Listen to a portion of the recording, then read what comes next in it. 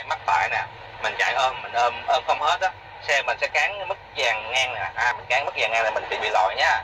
Cẩn thận nè đây mức vàng ngang này. Đó nên cẩn thận.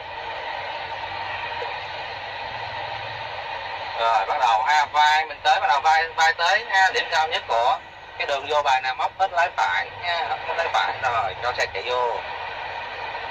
Đó, xe chạy vô. Quá rồi vô cho xe vô giữa đường nha. Rồi. Ôm sát vô cái này mình học hết rồi ha cái bài đường quanh co này ôm qua. Ôm sát cái đường là sao mình nhấc nhanh chị mình nha. Rồi qua đây ép hết qua đây. Rồi ngóc về. Đánh lái bên nào ngót phương hậu bên đó đừng để cho cái bánh xe sau cán. À, à. Bài thi tiếp theo, bài thi qua ngã tư có tín hiệu điều khiển giao thông. rồi ở đây mình sẽ cứ đứng chờ.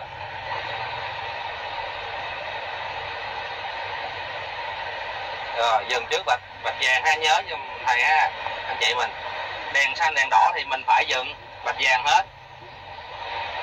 Đó, ở đây thì mình không biết cái tình huống nào mình đi hướng nào thì có vào biển báo. Này biển báo này. Hoặc là ngó vào ở dưới đường đó có cái mũi tên nè rồi cài số ha. Ba xanh thì bỏ mà ba đỏ thì đi. À, để coi coi còn mấy giây còn 5 giây nè. 4 giây rồi 3 giây bắt đầu ha mình nhóm con nhá nhóm con từ rồi ok. Qua. Rồi.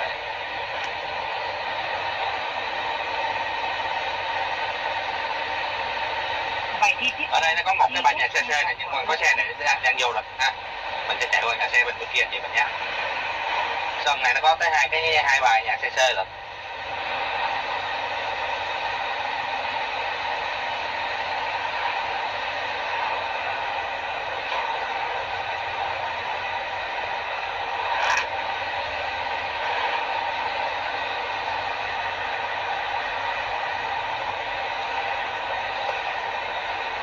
rồi mình sẽ ôm bên cua cho bạn trên xe nha. Rồi tới giữa nhà xe cũng đánh lái từ vô.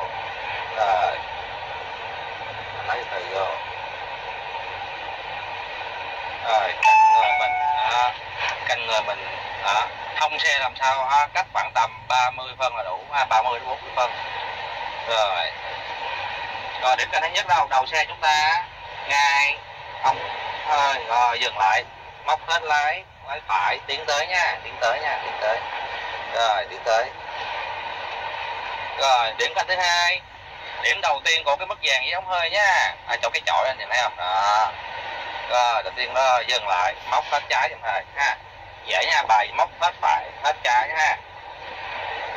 Rồi số ghe chìm nha số ghe. Giữ yên lái ha trong quá trình mình chạy thì vẫn giữ yên cái lái có xe nó vô rồi, xem vô rồi. Khi nào thấy xong xong dừng lại nha. Rồi, dừng lại. Một vòng hai hai vòng rồi ra vô. À. rồi chìm ha. Rồi, nghe tiếng buồn cái gọi đi ra, ha chìm nha, đi ra rồi. Đi ra thì lưu ý đi cho xe đi ra nữa, nhà xe mới đánh lái nha đó đánh sớm á, bánh sau sẽ bị bị cán mất nha, anh chị mình, ha ừ. bài này cho mình 2 phút thôi mình cố gắng mình làm ra sớm rồi Bài thi tiếp theo, bài thi qua ngã tư có tín hiệu điều khiển giao thông. rồi bấm cái này.